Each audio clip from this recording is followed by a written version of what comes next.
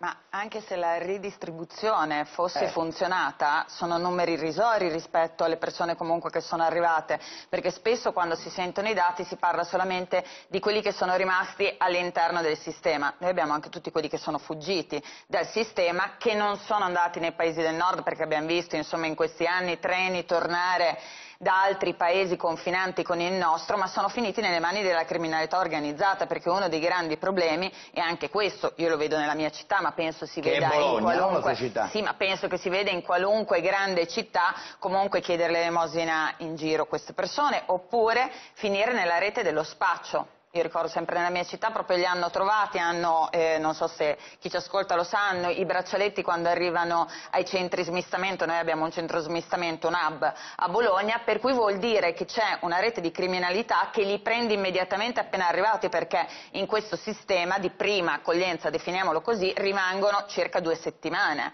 Il problema però è che dietro a tutto questo c'è qualcuno che ci mangia. Finché noi non andiamo a colpire, e quello che io mi domando e domando sempre è perché il governo non intervenga su quei prefetti che permettono situazioni come Cona o altre situazioni che abbiamo visto in Italia e continuano a far vincere alle stesse cooperative, le cooperative poi che escono negli scandali, tutti i bandi cooperative che tengono queste persone magari in strutture enormi, che mangiano un mare di soldi, perché più o meno ci viene a costare in quello che è l'accoglienza, i CAS, che è subito dopo il centro smistamento, 45 euro al giorno ognuna Sì, di queste persone. sono tasse due, dei singoli 2,5 sono il migranti, pocket, eh. quindi i soldi Sì. quelli che gli diamo direttamente, Mm. finiscono in tutta la gestione, Sì, per cui da vestire, da mangiare, Però- della struttura. Fin quando non si va a agire lì, però Mm. diventa un problema, continueranno ad arrivare persone, gli altri stati non le vogliono prendere perché noi riconosciamo degli status che per gli altri stati europei non esistono,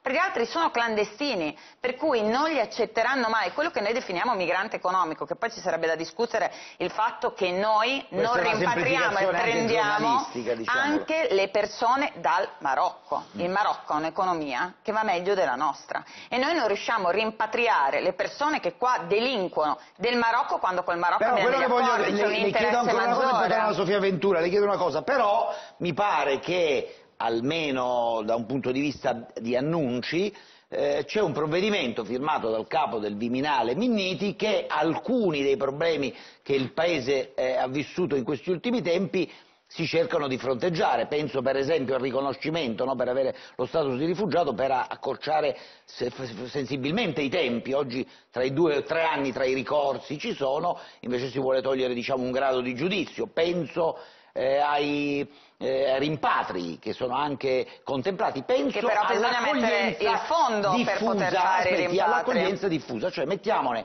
pochi in tutti i comuni italiani in modo da evitare quelle situazioni come magari si prospetta adesso alla periferia di Roma a Massimina eh, quindi, Posso dire però eh, anche quella della c'è una volontà diffusa diciamo di fronteggiare i problemi una- che avete evidenziato o no? Però voglio dire, quello eh, di mettere nei piccoli paesi la distribuzione più diffusa, non in grandi Mm. Pochi, strutture, oltre che nelle grandi strutture ce l'ha messa la prefettura d'accordo Sì. con le cooperative, eh, non è che ci sono finiti per caso, però è una presa in giro, perché se noi non fermiamo in qualche modo gli sbarchi, sono due, ad esempio nella città metropolitana è 2 per 1000, in altre 2,5, Mm. ma andranno aumentando. È solamente un modo di dire oggi te ne metto due, domani te ne aggiungo un altro, invece che mettertene 20 tutti assieme, perché la gente è proprio terrorizzata dal fatto che quando un paese viene deciso di aprire all'interno un centro di accoglienza, partono che sono 10, finiscono che sono Cioè non dici si sa c'è quale un numero numero. prefissato poi questo numero si amplifica.